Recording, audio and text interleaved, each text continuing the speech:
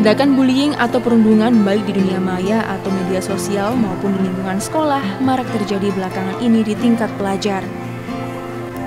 Hal ini melatar belakangi sekelompok mahasiswa Fakultas Psikologi Universitas Ciputra Surabaya untuk menggelar kampanye anti-bullying anak dengan cara yang unik.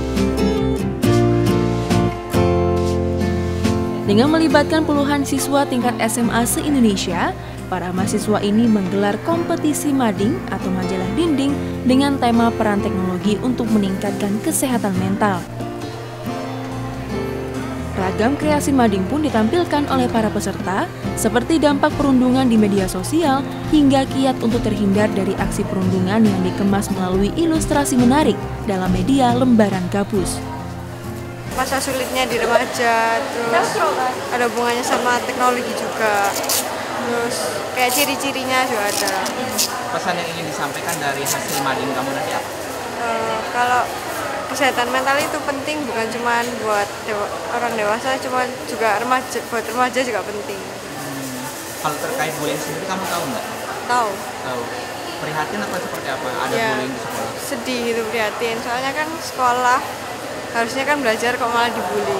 Yang kita ketahui ya bahwa fenomena-fenomena yang ada di sekitar kita itu banyak terjadi bullying dan bullying itu sendiri pun juga akan bisa berdampak terhadap depresi pada anak dan bahkan bunuh diri. ini bisa menjadi salah satu cara untuk mencegah?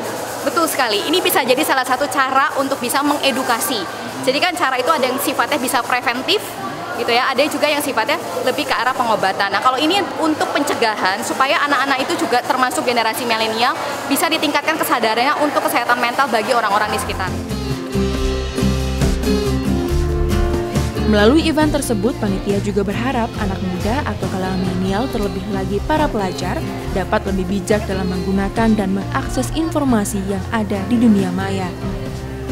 Alfian Rahman, Kompas TV Surabaya, Jawa Timur.